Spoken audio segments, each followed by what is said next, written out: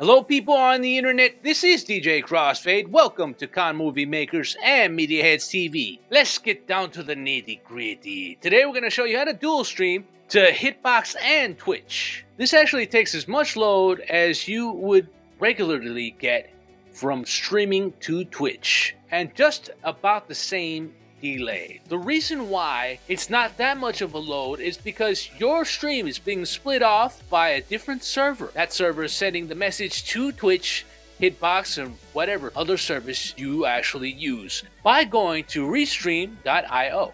Why not expand your fan base to other services? We're going to show you how to do this with OBS. The first thing you're going to do is go to restream.io and sign up for it. It's a free service. Go ahead and go add service. Once you go to add service, you find the place you're from and your stream key. You can find your stream key on Twitch by going to www.twitch.tv slash broadcast. Once you go there, it will show you your key. You go and get your key on the dashboard. You click the dashboard, and obviously you go to show key. I'm not going to show you my key because I don't want to get my stream taken over. Once you go to settings, go to broadcast settings, paste RTMP URL into the FMS URL. Get the stream key from the Restream panel. Hit save.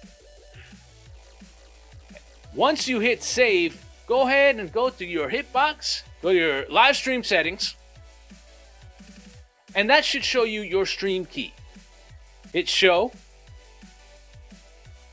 paste what you see there into your restream panel.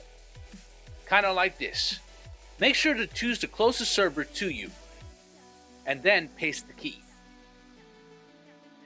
Once you have that all done, I would suggest testing it out. Also, a brilliant thing you should note, it shows two chat boxes, which is, I think, is awesome. So if you have a, a second screen, you can interact with both your Twitch fans and your Hitbox fans. By the way, I highly suggest Hitbox out there, people out there, because there's no copyright. And that's really why I'm pushing Hitbox.